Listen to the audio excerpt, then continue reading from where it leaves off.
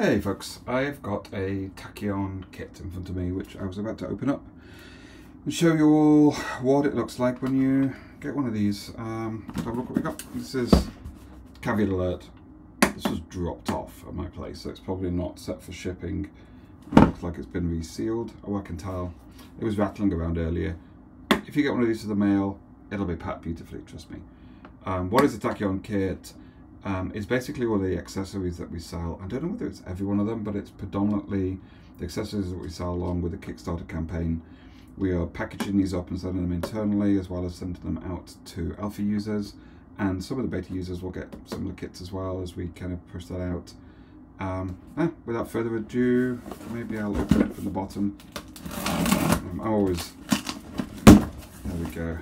Less suspicious when you open something from the bottom. what have we got in here? Uh, Love the screwdriver for opening up packages. Uh, bubble wrap, and then a gratuitously amount of untapped product. Excellent. Let's pull things out in no order. What have we got here? Hmm, actually, let's put them out in order. This is a debug board. Uh, sorry, debug board is here. Um, what is a debug board? It connects to your tachyon through these ribbon cables and it provides two serial ports that allows you to go and access the low level consoles and things on the device. You don't need one of these. All of that stuff's uh, available over USB, the internet, etc. But um, if you like tinkering, if you like like me, then you'll probably want one of these, and you can potter around with it. Um, you can also set settings on the device as well and things like that with it. it just makes it like it makes it a bit more embeddedy, which I am a huge fan of. Um, another thing that comes with it, an accessory, an audio adapter this thing's got two mounting holes and it sits across the Tachyon device. Um, why do we build an audio adapter? Well, couldn't find a way of getting this beast on the board. Um, partly because the module fits at the bottom of the board and we don't really have any through hole on it. And that kind of forces us into building a really inexpensive PCB. It's got audio in and out on it, built-in microphone. It's kind of cool. Um, what else do you get with Tachyon kit? You get a multifunctional USB adapter if you ordered one. Um, I think this is a fairly cheap thing that we sell. Um, supports 100 watt USB PD throughput, bunch of USB, PD input, um, most of all HDMI output. Um, somewhere on here, I think it's over here. I've got kind of one. I have thousands of these. If you ever want to start like a, a museum of uh, forgotten uh, USB-C adapters, come over to my place. This has got similar things on it. This one's got a USB, it's on a USB Ethernet adapter on it. I think it's a one gigabit Ethernet adapter. That's why I've been using this one recently because it's super fun. But HDMI out on it as well. Uh, we'll do a video of that shortly. Um, this is a little less interesting. It's a USB-C to USB-C cable. True fact, it's a 3.2 Gen 1 cable. This has also got one of those cables built into it, but doesn't go very far. Um, why do you need one of these? If you're connecting it to a monitor, um, or a power brick of some sort, um, you need to be able to provide the 100 watts provided. It's got a little chip inside it called an e-marker chip. Um, oh yeah, built-in e-marker chips for safe charging. It doesn't allow you to go over 3 amps without one of these little chips inside it. And it also has the bus speed to be able to get up to 4K 30 on the output. It says 4K 60. Our board only does 4K 30. Probably that's why that one there says 4K 30, because that's what the standard does. Um, and you have to go up to a new USB technology to get faster. Uh, battery, cool. Uh, three cell battery, got a middle pin on it for the, or yellow pin on it for the battery charge voltage, which is called a GPS antenna. So, a little big. Um, why is it big? Because it's really amazing. So that's a great way. It picks up GPS straight away in the house. Um, L1, L2, R5s, global board um, extremely powerful. And it's a little nozzle on the tachyon, which I guess you haven't got to yet, but how do you open this thing? What is this box here? USB PD. This is a temporary one. Um, I haven't opened this one because I never use USB-P adapters when I have a computer that just outputs it. And last of all, we've got a Tachyon board. Um, familiar looking box there for those in the single board computer space. A damaged box as well. Nobody definitely has attempted to brute force this open. Um, better on the stickiness next time around. What we got in here? Uh, we're going to Tachyon, hero of the hour. Um, let's go over the Tachyon briefly. Uh, built-in cellular antenna, uh, CSI display port, combo DSI CSI, um, three pin battery charging port, USB 2 host port. Stick doesn't stick out for case compatibility. Super interesting. Let me get that back to. I don't know how the focus works on this thing. There we go.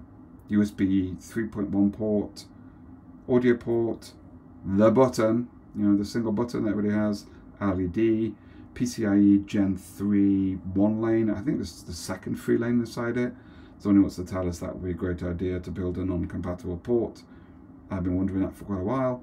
SD card, debug adapter. Ah, sorry. Sorry for the focus people. You can kind of see what I'm putting. Debug adapter, SD card. Um, then we've got a quick adapter here. This is going away. That was used to be there to select some voltages, but it's gone. GPS antenna down here. The 40 pin header. And then if I flick over, dun dun dun, the Tachyon module itself. So, you know, if you know anything about particle, um, in fact, anything around RF, um, putting a screen on top of it is kind of the first thing you do. Um, and this is no, no exception here. Uh, got a 5G sub 6 gigahertz radio inside it.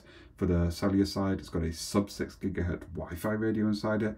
That is a lot of spare electrons that wish to go out in unusual directions. So this is a great shield for it. Um, one of the challenges with this, of course, um, clearance wise, it's pretty good. Like you can fit most cases into it. There's only a few of them that touch the bottom, but um, you can't put much through hole on it. So all of this at the top of it designed for surface mount, including the 40 pin header. If you look carefully, it's another surface mount. Uh, very similar to how Raspberry Pi 5 did it, although it's probably not the same technology. Um, it's super cool though. Uh, huge fan of, of the innovations they're putting on their board. Little, here's a little cool chip down here. You can see that, maybe you have to get your board and have a look at it. It is a diplexer chip. It combines different RF bands together so that we can have reduced bands on here and switches them dynamically. Um, great, that's the board. Um, maybe I will just show you, you pull a battery, and normally this is in a case. People, there we go, plug it in, immediately get a red light, it's in standby mode, press the button, starts booting. Um, what do I expect to see on the boot side? I don't expect to sneeze. there we go, didn't actually sneeze. Um, it's kind of booting up. There's an activity light here which is controllable, he said, by the kernel. I wonder whether there's a zoom in here. Wow, look at that. So cool. Um, this LED here is just uh, proc entries out of kernel. You can tell it what to do. I think it uses the same activity light driver the Raspberry Pi does. Um, currently beats at 2 hertz when it boots up, and then when it starts blinking randomly, it's set to use a disk and stuff. That means it's booted. You can also tell it's booted because this LED was glowing green, and now it is glowing, is that, that's cyan, I think. So what does that mean? It means it connected to the Wi-Fi, connected to Particles Cloud, and is ready to chooch. Um, if it glows, I think cyan is, is cyan the cellular or the he says losing focus again due to attention deficit issues. Um, it glows purple when it's on Wi-Fi and cyan when it's on cellular. So you can kind of see how it's connected. Um, if you go through our setup process, you'll be prompted to add in the credentials already for that board um, so that it immediately joins the Wi-Fi. Um, that's a headless setup experience to start with. There's a desktop one that we'll follow on very shortly, which we started out with but um, somehow Headless had the allure of the unknown, and we did that first.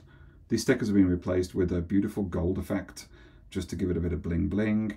Same goes at the bottom. The blue was a lovely idea, but um, um, I think it clashes a little bit too much, so we're just going to go with a more kind of 70s brownie gold.